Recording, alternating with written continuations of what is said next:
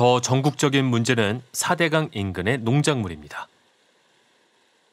금강 인근 농수로 녹색 강물이 흘러들어옵니다. 그 양수장에서 바로 앞에가 금강이에요. 네. 양수장이 있거든요. 거기서 물을 펌핑해서 끌어올려요. 그러면 여기 관이잖아요. 네. 이렇게 해서 물이 와.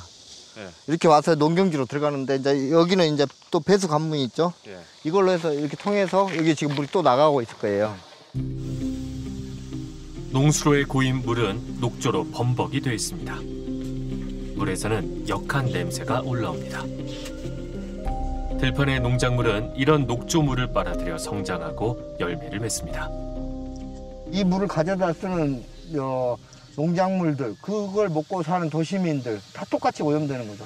이건 누구 한두 사람의 문제가 아니에요. 여기에 생산된 농산물 다 서울로 가요. 농어촌공사는 정수를 일체하지 않아요. 예를 들어서 어, 이 물로 땡겨서 사- 상추밭에 물을 주면 상추에 그대로 적용되는 거고 논에 그대로 적용되는 거고 아까 우리 콩밭에도 그대로 들어가는 거고. 이제 금강에서 농업 용수를 뽑아 올리는 용두 양수장입니다.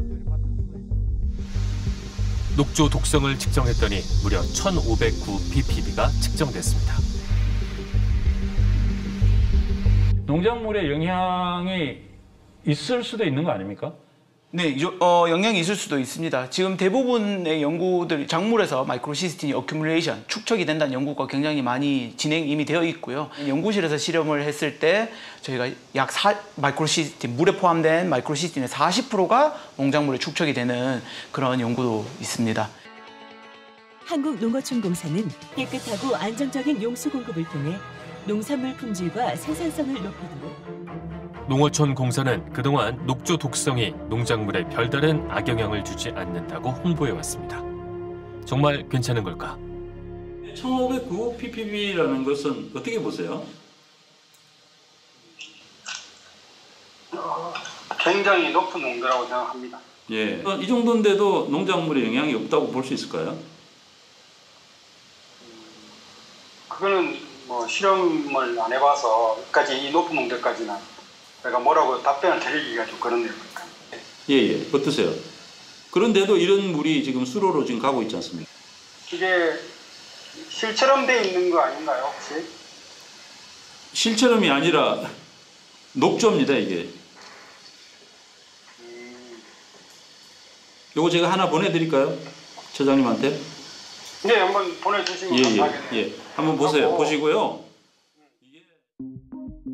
2016년 농어촌 공사는 녹조의 독성이 농작물에 미치는 영향을 연구했습니다. 연구 대상은 벼. 당시 보고서는 벼가 유해한 녹조 독성으로부터 안전하다는 결론을 냈습니다. 그때 한 해줄 때는 사실은 벼를 위주로 했었습니다. 네네. 그렇게 했을 때 그 우리나라에서 농산물에 미치는 영향은 없다고 이렇게 결론이 났습니다.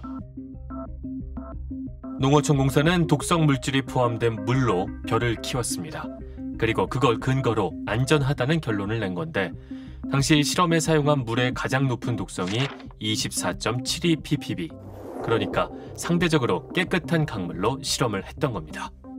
뭐 한 1000 ppb 이렇게 되면은 그게 그 실제로 그 물이 만약에 들어간다면은 농작물에 에, 흡수가 될 수 있는 거 아닙니까? 물론 그렇죠.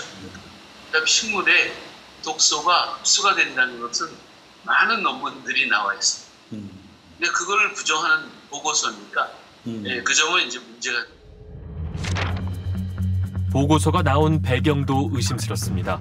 보고서에는 녹조 독성이 농작물에 미칠 악영향에 대한 국민적 우려를 불식시킬 필요가 있어 연구를 했다고 적었습니다. 미리 방향을 정해두고 결론을 끌어낸 것 아니냐는 의혹이 제기됩니다. 문제가 있다고 비판받아온 이 논문이 정부의 공식 입장이 됐습니다. 환경부 문서에도 녹조 독성이 농작물에 미치는 영향이 거의 없다고 적었습니다.